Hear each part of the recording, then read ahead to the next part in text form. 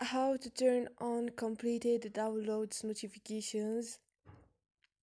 Hi guys. In this video i will show you how to turn on completed downloads notifications. First thing go to your google chrome and click on those three points. Click on settings. And here guys scroll down and you will find here notifications. So here guys scroll down and you will find completed download tab on it. You have show notifications and you can turn it on. This is it guys. Easy and quick. Hope this video was helpful for you. If it was don't forget to subscribe like the video.